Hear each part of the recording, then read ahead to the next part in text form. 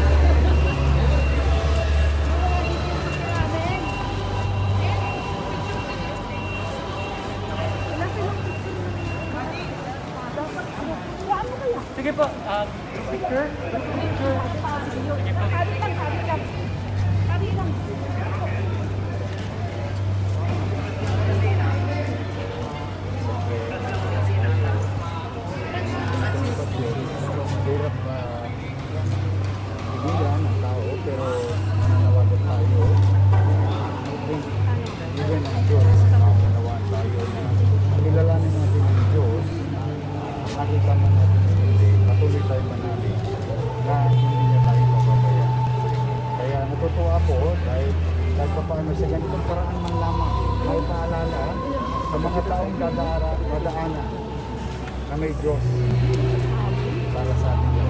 May Diyos sa pandemya. Patuloy lang tayo manalig. Sambing sama. Nawa ang Diyos. Maraming salamat po. Maraming salamat po sa inyong panonood. At kung hindi nyo pa napapanood ang iba kong videos, nandyan po ang previous videos at my suggestion.